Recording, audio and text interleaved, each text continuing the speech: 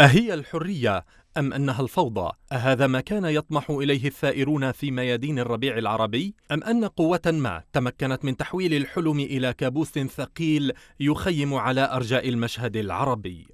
أكثر من سبع سنين مضت منذ اندلاع شرارة الربيع العربي حيث هتف الشعب العربي للعيش والحرية والعدالة الاجتماعية أكثر من سبع سنين خلفت في العقل الجمعي العربي إحباطا لا يرى الكثيرون معه جدوى من الثورة أو الحلم بغد أفضل بل إن البعض بدأ في التعاطي مع ما روجت له كثيرا أنظمة الحكم العربية القديمة من أن الشعوب العربية غير مؤهلة لنيل الحرية. ومن ثم بات التحسر على أيام استبداد ما قبل الثورات ظاهرة ملفتة في الشارع العربي، غير أن أخطر ما خلفته مرحلة الثورات المضادة هو ذلك التمزق والانقسام المجتمعي الذي أصبح يضرب الجسد العربي ضربات قاسية باتت تهدد حتى بقاء الدولة ككيان سياسي موحد. وأصبح حلم سقوط الاستبداد وتحقيق الحرية مرادفا مصطلحيا لسقوط الدولة وانتهاكها جغرافيا وتفشي العنف والفوضى الأمنية